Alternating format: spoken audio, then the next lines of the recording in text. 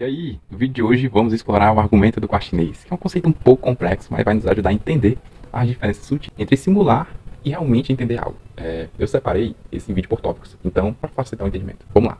Primeiro tópico, simulação de influência. Primeiro, eu vou pedir que você imagine uma situação que você está tentando falar chinês, mas não entende nada da, da língua. No entanto, você tem um manual que diz exatamente o que responder para cada pergunta ou afirmação em chinês. Você pode não compreender o que está dizendo, mas simula perfeitamente uma conversa em chinês. Este é um exemplo de simulando fluência, onde você está seguindo regras, mas não entende o significado por trás delas. Segundo tópico, o argumento do quarto chinês. Agora vamos adicionar uma camada extra para esse cenário. A filosofia questiona se essa imitação de comportamento é como seguir a gramática de uma linguagem realmente significa que você entende a língua, ou seja, o significado por trás das palavras. Da mesma forma, isso questiona se as máquinas podem simular a consciência sem realmente serem conscientes. Terceiro tópico, inteligência artificial fraca e forte. Isso nos leva a diferentes tipos de inteligência artificial. Aí a fraca, como